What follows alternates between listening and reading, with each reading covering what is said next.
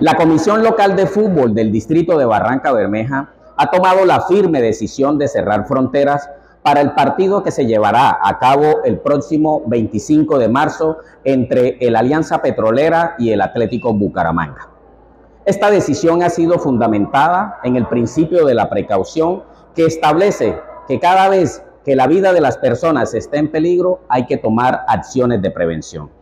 Lamentablemente, el comportamiento de la hinchada del equipo visitante no ha sido la mejor en los últimos escenarios deportivos en donde ha estado.